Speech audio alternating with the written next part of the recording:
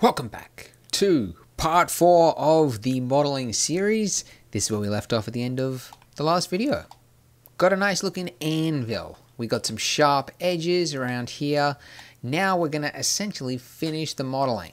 Um, yeah, so the biggest, the biggest uh, problem with our current mesh is that we've got this sloppy area down here. This part up here looks nice and sharp, nice horn, everything. This edge is sort of okay, but this edge not so great. So let's work on that. Uh, so just like what we did in the last video, I'm going to be adding another loop cut right here. Okay, and when I do this and I bring this up, um, you can see that it's tightening up that edge there. Uh, now, one thing to note when you use um, this loop cut, when you add a loop cut, uh, the placement of it, when you slide it from back to forth, you can see that it's choosing the shape of the edge which is closest to it as you uh, as you drag it over there. And the, the the more you drag it up, the more it takes the shape of that edge. But what you can actually do is if you hit E, um, and it, will actually now copy that the the shape of your choosing, um, regardless of where it is between that. So you can see right now it's actually taking the shape of the bottom loop. And if you hit F, and these, these shortcuts, by the way, they're on the bottom bar, just like they were before. Um, you can see that the red dot, which is showing you which edge it's taking the form on, is now at the top. So if I hit F again, you can see that I'm changing that. So again, it's as you're as you're moving it up, it's hitting E to uh, to go even, and then F to confine to which which edge shape. Anyway, I'm doing this so that I can just get the nice edge there without sort of any in between um, that's over there. So that's that looks pretty good to me pretty nice. Okay, now um, we want another edge to go across the top here, basically eh, like so. Um, that looks terrible. Um, oh, and also I'll turn on the screen keys. Cool. Lots of noise going on here. Um, yeah, so I want an edge going up here. So I'm going to add a loop cut, right this, and put it right there. I'm going to hit E again and just confine it to that one on the right there by hitting F. There we go. Okay, so now you can see that I've got this edge and it's going up fine, but then we've got this cut where there's, you know, where it splits off and it goes up there. Um, now this is a bit of a problem, but you'll see that it's actually quite simple once we add in this other loop, because this other loop has the exact same problem. I'm going to hit E again to make it even, Make sure that it's copying that one, and then I will hit click. There we go. Okay, so how do we fix what's going on here? Because you can see, I mean, it's not that obvious. If I turned up this, you might notice it, you might not. Um, but you can see that where the light sort of hits that edge there, it sort of breaks off. So it's, it's all nice, it goes up, and then just sort of breaks off, and it sort of goes up like that, right? So it's not a, it's not hugely obvious, but it would be better if that edge went around, like it doesn't have the bit going up, obviously. So we can, just like what we did up here, where we pushed and we were able to manipulate that loop cut so that it went in on itself, we can actually do that around here. If I was able to make these two points, say if they were joined right in the middle there, like that, then that, uh, that, uh, what do you call it? That loop. Is it the loop I'm thinking about? It's the it's the flow. The flow of these faces would be forced to go around here. So the way we can do this, there's a number of ways you can do it. Honestly, everybody's got their own different way of I guess, re is it called retopologizing, um, of cleaning up their topology. But this is the way I do it. So I know that I want these two pieces to go together. So the way you merge things, merging two vertices in Blender, is you hit Alt M. Okay, now little pop-up will ask you where do you want the merged piece to be. You can choose the uh, first vertice, the last vertice, or in our case, I want one in between. So I'm just going to choose at center and click. Okay, so disregarding this horrible mess that's going up here, uh, this is now correct. And if I was to click this, whoops, oh, well, we've got to clear up some of those vertices first, but you can see that these are now joined the way they should be. So it's now going around on itself. So what this means is that I no longer need that edge or this edge. So what I'm going to do is I'm going to double tap G and slide this across okay, so that it's, it's going to be joined in the middle there. But I don't want this one to move, so I'm going to select everything except that and hit double tap. Double tap G, move it across. Exact same thing here. Unselect that little vertice, double tap G, bring that across. Now, W, remove doubles. Okay. Um, too many shortcuts to remember, by the way. Make sure you can get my cheat sheet in the description if you want it. Um, okay, now that's that's looking pretty good. But we still have this edge here from before where it was connected, and we don't want that connected anymore. So I'm going to hit X, and then make sure you delete the edge, not the vertice, like so. And look at that. Huh? Look at that nice edge the reflection. I love it. I love it when you, you get a, you, you work out the topology and you fix an edge, and it's like, ah, looks nice, so satisfying. Um, really cool. Okay, um, so that's fixed. Now let's do. Uh, all this bottom one's really easy. I just want to drag this down until it's sort of down there. So I'm just going to hit E to make it even um, to down there. Okay, so now the base is flat, which is good. Now the only other edge that we want to clean up is uh, is this one. So we've got an edge here, which is making that side of the edge nice and sharp, but this part is a little bit too smooth. So I want to add another loop cut right here.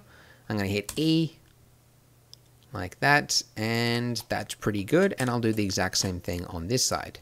Hit E and then F to make sure that it's on the right side. And that is good. Nice. Okay, so this is pretty good. However, we could do better. One second. Okay, so looking at this, like, honestly, if you wanted to stop here, I mean, you're welcome to it, right? Uh, but these this loop cut, you can see that we've got geometry that's going up here that isn't really doing anything, and we've got a double layer of it, okay? It's going up there. Um, we've also got geometry that's going up here that isn't really doing anything, okay? It's just sort of yeah, just ambling up there. Um, and this causes problems like you can sort of see it, not really actually because it's it's but if this was slightly out of alignment you would see this big crease that sort of goes up here uh, maybe yours at home has that so we can fix that because really you're, trying to think when you're looking at the mesh like what direction is is the uh, it should should the mesh be flowing? Like where should I see a nice clean line when you reflect light of it off it? And you know that there should be a nice clean line that goes all the way down there. Okay, that that's what should be happening. But you can see that the, the line is being forced to go across here and up there, which isn't quite right. So you know that you need to turn it down to go down this direction. Okay, looking at our, oh, let me bring this back looking at our reference photo, you can see that that is true. Okay, it's like one continuous line that goes that way, and then one continuous line that goes that way. Okay, so, mm, mm, mm. okay, so what we can do, um, again, there's a number of different ways you can do this. Um, there's one operation where I think you take this, you hit Control E, and then you can rotate the edge um, but I, I don't like doing it because it's really hard to orient.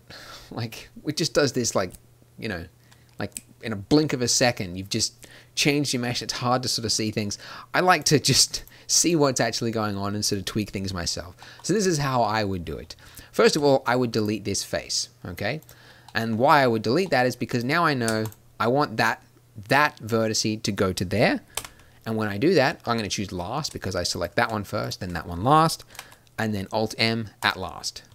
And now you can see that this line is correct. Okay, I know that that's correct. Now I just need to fix the rest of this.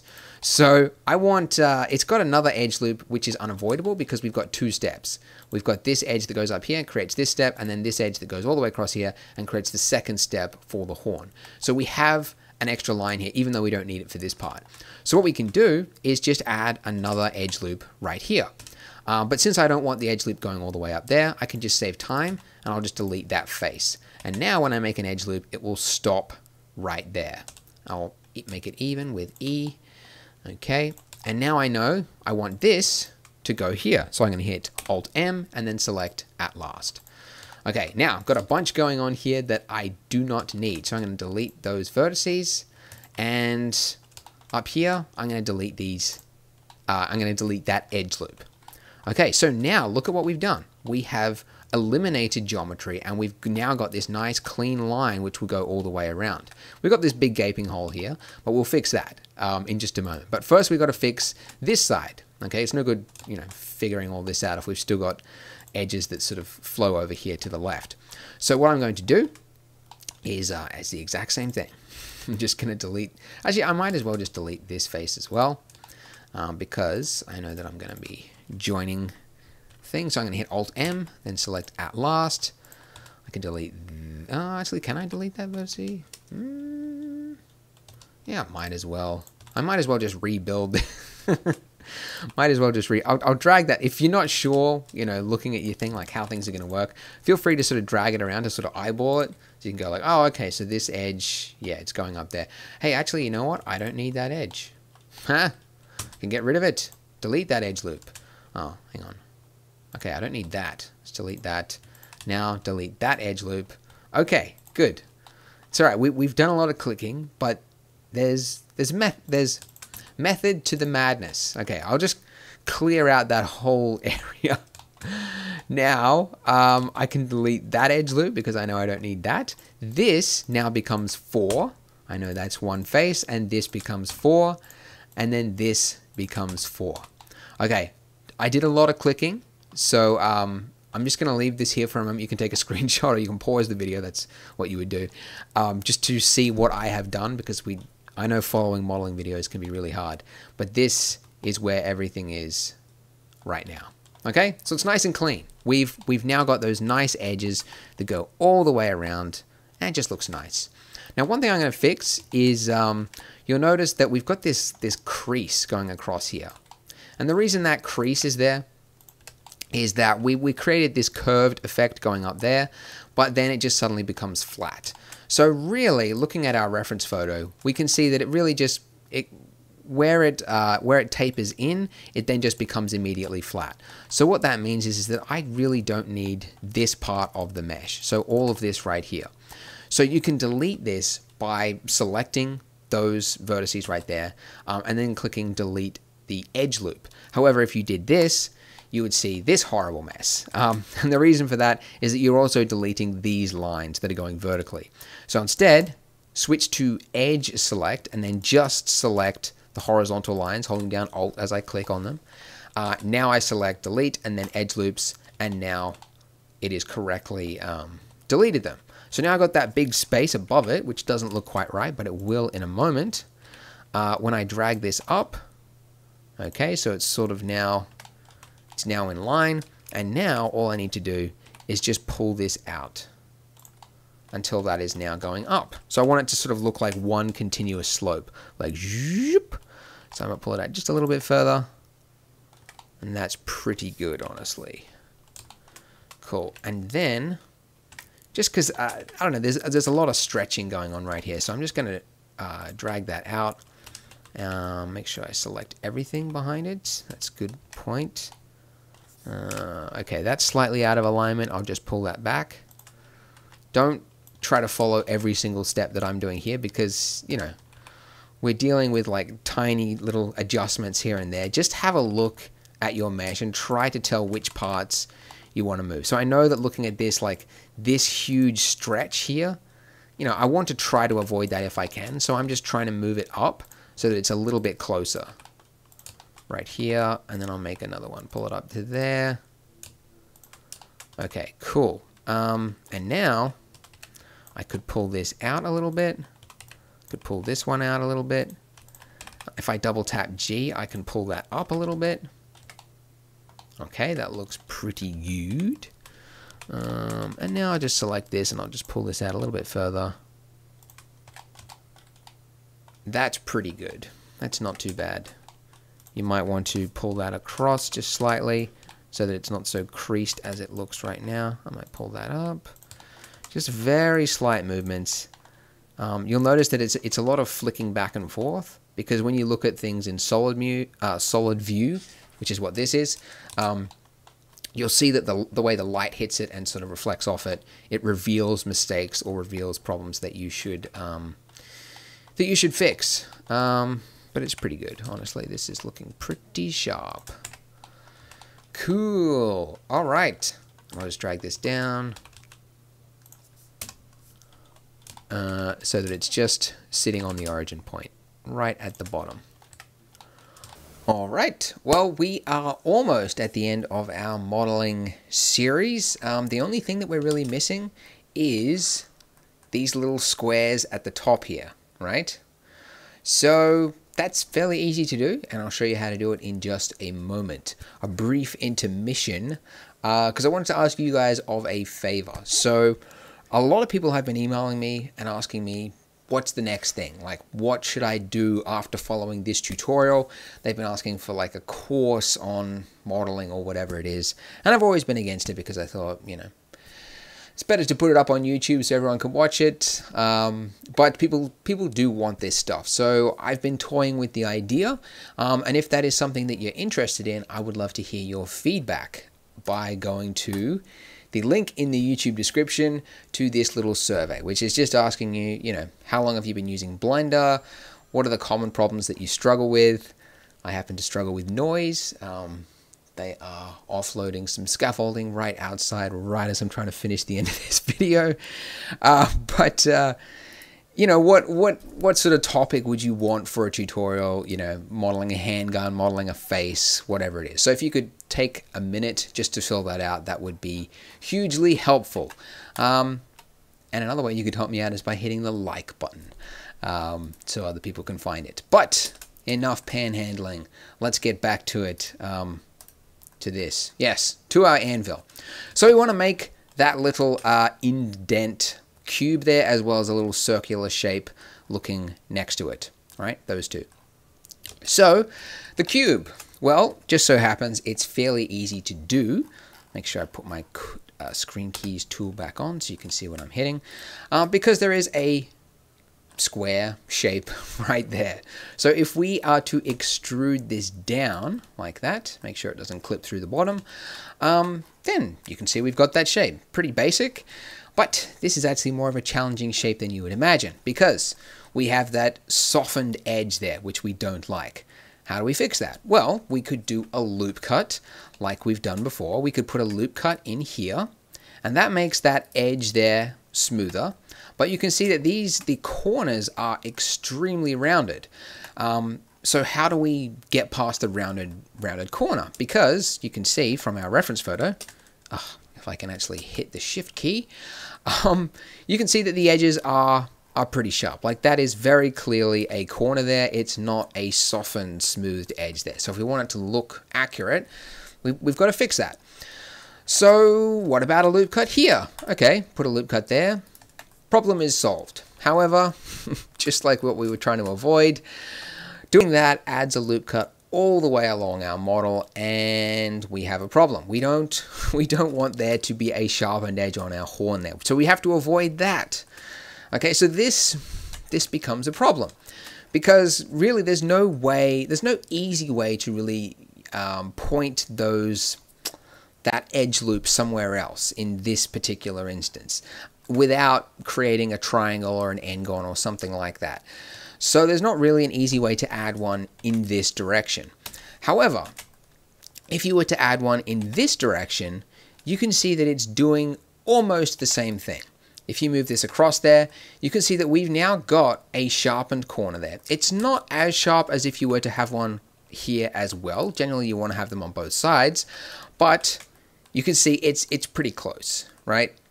And so it really becomes a question of like how much how much do you how much value do you do you put on this problem? Like is it worth spending an hour you know making one go this way and you know figuring out some way to point those the edge loop the another way?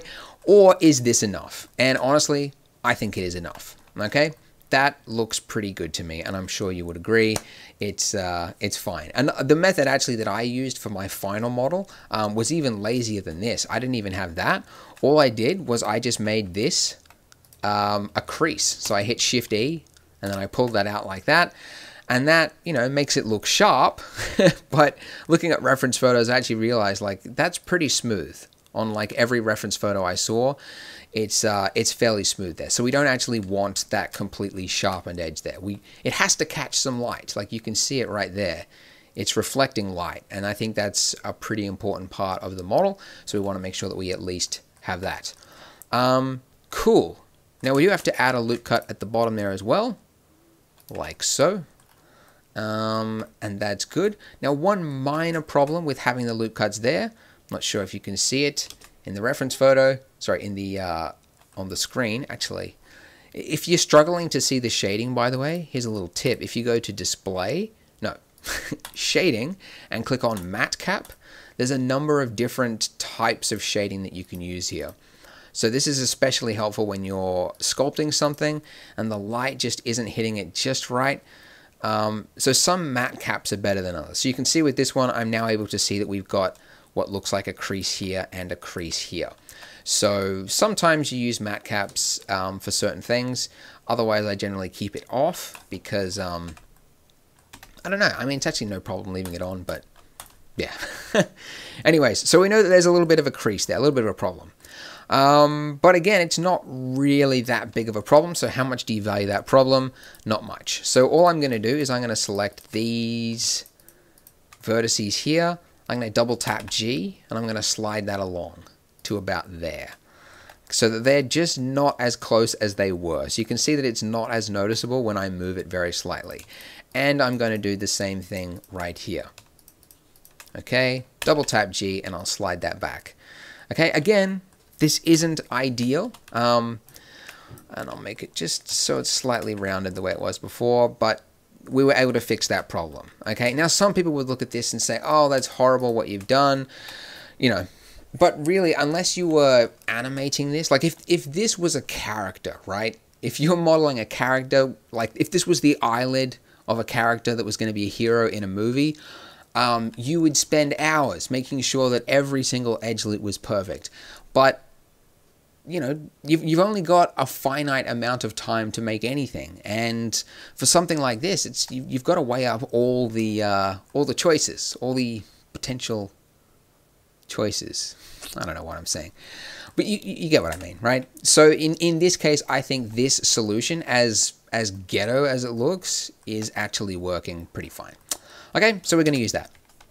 So the last final thing we need is a little circle, little tiny circle that appears up there.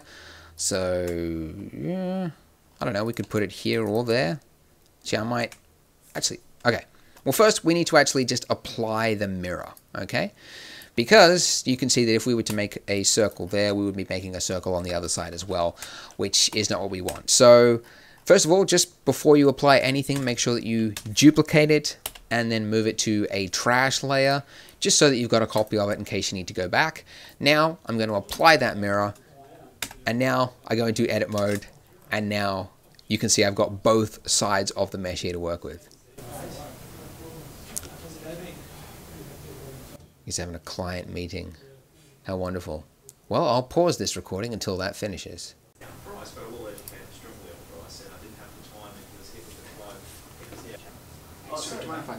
Yeah, yeah, we're not too loud, are we? You won't get through the Oh, it should be fine if the door's shut. Yeah, no worries. Cheers.